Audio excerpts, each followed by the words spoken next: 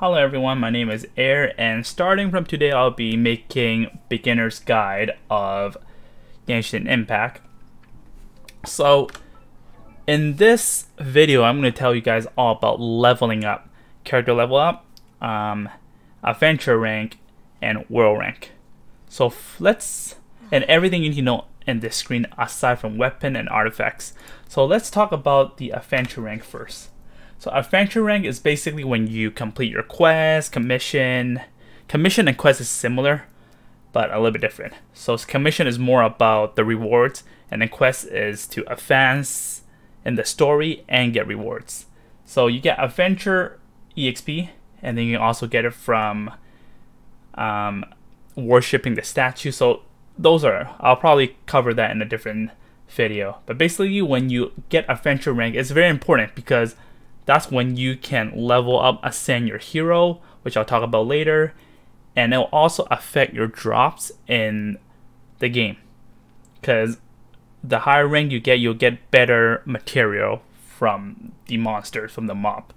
And then now we have world level. World level here is where you can get it from quests as well, and you can get it from, okay, right here. The world level increase along with your adventure rank.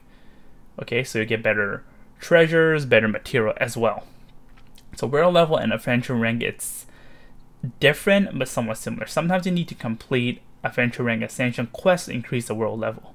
Okay, and adventure rank is important because again you can increase your you can ascend your hero and then next you can get um, your dailies right here so you get this thing here. You can do these.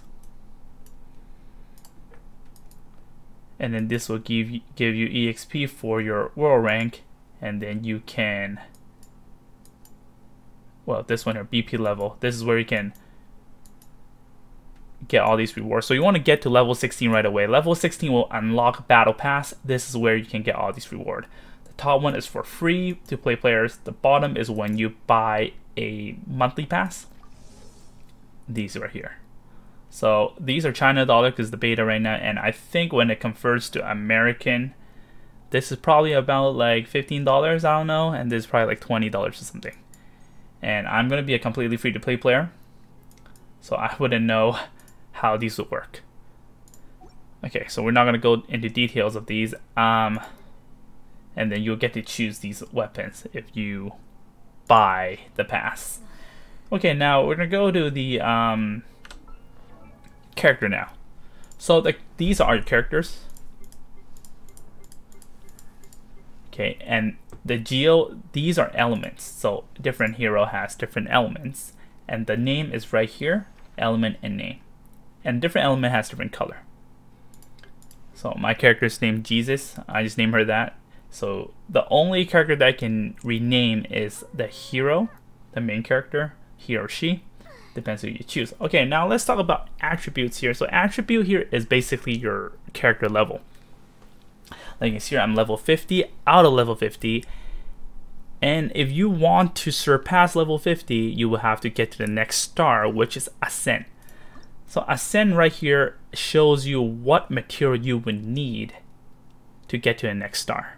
So I'm currently missing these fragment here, which requires adventure rank 30. So that's why it's important, the adventure rank. But it only applies to the main character. Only the main character cannot farm these. She has to get it from adventure rank reward, which means when you advance the story, you'll get these and she'll get to the next star level. And this is the stats that I was going to show you when you get to level 60. Okay, so this is where you get your, you can change your skin. For me, I don't have any skins, but I get these like wings. I don't even know where I got them. But you can change it. Okay. So this is where you level up. And this, I mean, you can level up. When you max it, you can ascend. So I'm going to show you guys how level up works. Okay, so you have to use these certificates once you level up. It will show you your stats. Very straightforward this game. HP, attack, defense. for stats. So you don't have to worry about these elemental mastery and max stamina right now.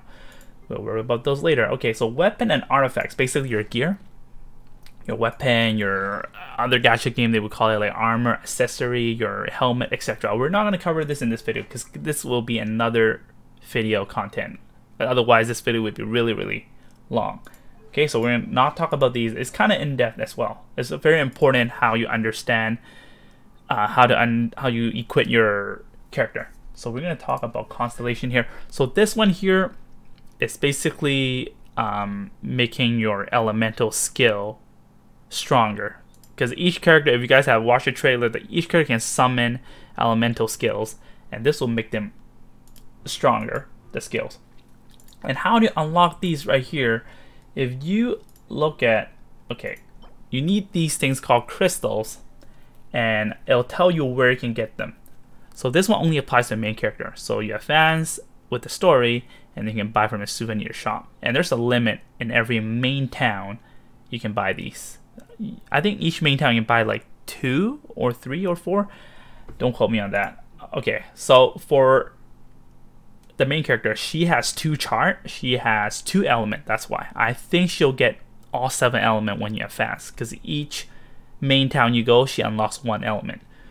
So for now, I have Geo and Anemo. That's what I call. The Anemo is the wind. This one's the earth. And you'll unlock these when you have fast with the story. For other characters, it's different. So for other characters, well, same thing, you will need to unlock it, and they require different material. They don't call it, you know, crystal, whatever, right? Fortuna is what they call it, and the source is wish. What is wish? Wish is summoning. You will need to summon duplicate of the character in order to unlock these. So in other gacha games, these would be your, maybe they call it shards. This is where your star level up. I wouldn't call it star level in this game because this is where you star level up. So this one, I guess we just call it constellation. And again, you have to summon duplicate characters to get to unlock these. So for her, I did summon her twice, so I was able to unlock these. So you need seven of these to fully awaken them. Yikes. Okay, now we're going to talk about talents. I'm telling you, talents, even players been playing the beta for, I don't know, a week, they don't even remember to unlock talents. This is very important. This is also where you get your passive, where you get your stronger skills. Okay, you'll get better damage, um, slower cooldown, etc. And skill attribute also also show you if you do a combo of this. It doesn't show you the hit damage in the game itself when you do your combat, but you can kind of guess when you do 5 hit, you, deal more, you deal more damage, etc. And this here is, there's a requirement when you unlock these. So for example, if I'm looking at the last one here, unlocks a character ascension on phase 4. So how do you know when you're at phase 1, 2, 3, 4?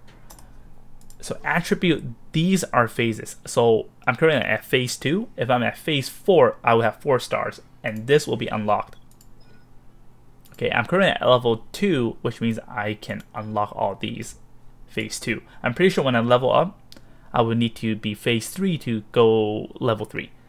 And when you click on level up, it shows you the requirement that you need and it'll show you the stats of your improvement. And this is how much gold you will need. And so yeah. Okay. So for other hero, same thing. You just need to have a different face. Alright, and then last but not least for this um, menu here is friendship level.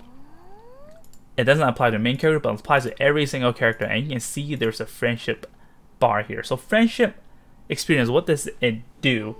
So it only, it's kind of useless for me, but maybe some people care. That's where you unlock the story of the character. You can read them. Okay, like you see here, unlocks at friendship level 3, and then you can read about her story. So I, I wish they give bonus for that, but no, not really, unfortunately. But yeah, anyways, so that is it for this video, guys. I hope you guys have a better understanding about what um, about this menu here. And oh, I forgot to say one thing. For ascending, once again, you need for the fragment for the main character, you need to advance with the story, and for the other characters, you can farm them or you can craft them.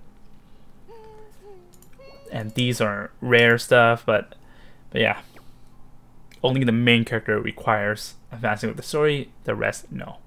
Alright guys, thanks for watching again. And if you like what you're watching, don't forget to like, share, and subscribe to my channel. I'll be making a lot more guys um, about this game. Hopefully, can help you guys before a global launch. And that's it. I think the next time I'll make a um, how to you know how to move like a pro when you're fighting you know a combat scene and I'll talk about weapon artifacts how you should equip them how you can level them up and what you should choose etc and there's yeah a bunch of other stuff. Once again thanks for watching and I'll see you guys next time. Bye bye